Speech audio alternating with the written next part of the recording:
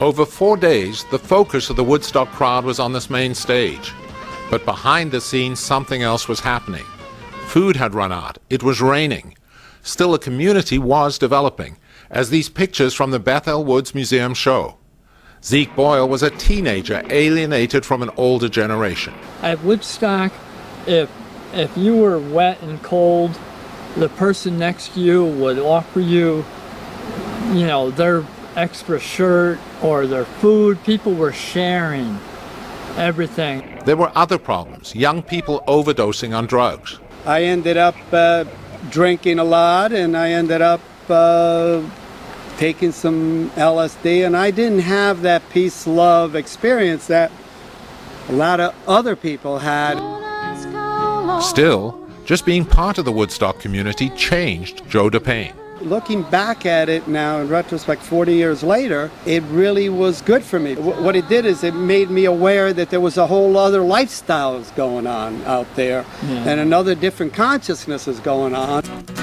Duke Devlin came for the music and fun. You had the war in Vietnam, you had civil rights, and women's rights, gay rights, all these different things. And you had and you, and you had the music, which was a form of communication, which we used strongly back then. Freedom, freedom. The music touched a powerful chord, says American musician Richie Havens. If I could tell you how many people hugged me from the time I started, it's amazing. I, I, I don't even believe it myself, you know, but it's it's thousands, thousands.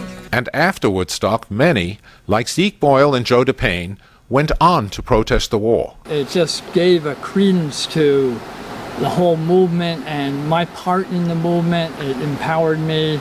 It made me feel like um, my voice had some meaning. Today, this site is run by the Bethel Woods Center for the Arts. Inside, there are replicas of the hippie cars and the buses that brought people to the site.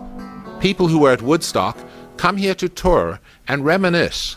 It made me realize that I could make a change in the world that I didn't have to just sit by and watch. In fact, says Michael Lang, the promoter of Woodstock, the man on the right, change is the legacy of Woodstock. What's important to remember is that there is possibility for things to be better, that people can make a difference.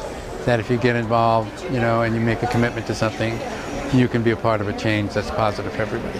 The site today is a shrine Ralph Corwin, a boy who spent just one day here, still comes back often to clear his mind. I come here for peace of mind, if nothing else. And I'm going to be here forever because my ashes are going to be scattered out there. Local people also feel the site is special. Years ago, they placed this monument on the small hill above the site, so no one will forget. Martin Phillips, VOA News, New York.